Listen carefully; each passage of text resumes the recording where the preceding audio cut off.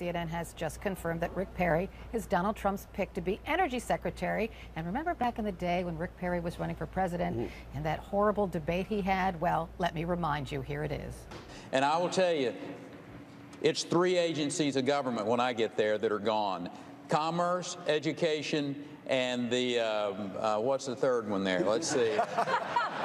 you need five. Oh, five. Yeah, okay, so five. commerce, education, and uh, the um, um, um EPA. EPA. There you go. No, again. Let's talk.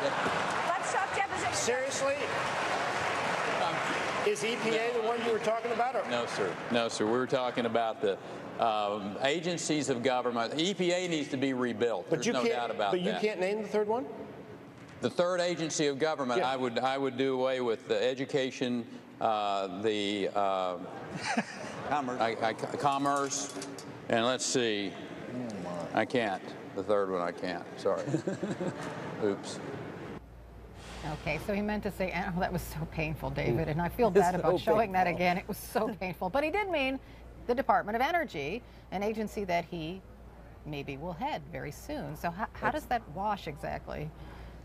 And remember, Donald Trump has talked about uh, at one point getting rid of the Department of Education, and, and you know there will be one uh, still, and he's appointed somewhere there. This has been uh, some sort of mainstream, actually, Republican rhetoric to want to close down some of these uh, federal departments. And yes, now some of those very critics uh, will be leading this. But I do want to say, Carol, that was uh, Rick Perry's first presidential run. His second presidential run, which was more brief, uh, when he was actually an opponent to Donald Trump very early on in the season and came out with a scathing rebuke of Donald mm. Trump at that time. And now he's going to be sitting in cabinet meetings working for Donald Trump as his energy secretary. Uh, to Ron's point earlier, I think that this is one of those that shows Donald Trump not afraid uh, to take former critics and, and seat them at the table.